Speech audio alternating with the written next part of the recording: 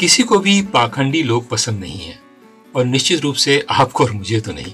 लेकिन फिर भी हम में से प्रत्येक हर एक दिन बाहर एक चीज़ होने का बहाना करते हैं और अंदर कुछ और। लेकिन सोचें और महसूस करें तो अंदर से हम पूरी तरह बिल्कुल अलग होते हैं।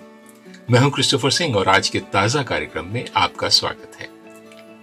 कल्पना कीजिए कि आप एक कॉफ़ी शॉप जाते हैं।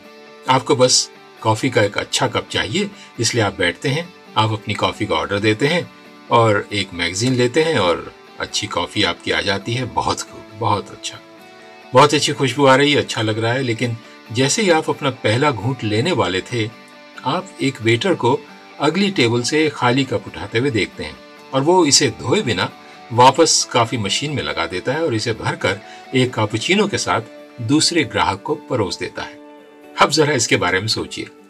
ये आपको उस कॉफ़ी के बारे में क्या बताता है? जो आपके सामने रखी है। सब कुछ बाहर से बहुत अच्छा है, लेकिन वे अंदर का कप धोया नहीं है। तो क्या आप इस कॉफ़ी को पिएँगे जो आपके लिए परोसी गई है? अफसोस की बात है, इस दुनिया में लोगों का एक पूरा झुंड बिल्कुल इसी तरह का है, जो बाहर से तो काफ़ी साफ़ है, लेकिन अंदर की तरफ़ बहुत गंदगी है।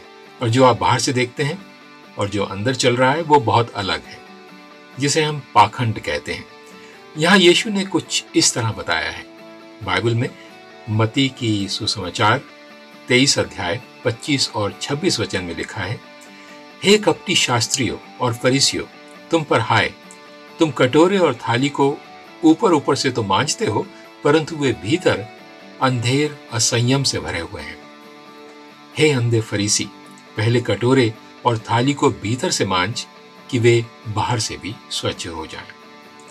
आप देखते हैं यीशु के लिए जो हमारे अंदर चल रहा है, वो इतना ही अधिक महत्वपूर्ण है जितना कि लोग हमें बाहर से देखते हैं। ये परमेश्वर का ताज़ा वचन है आज आपके लिए।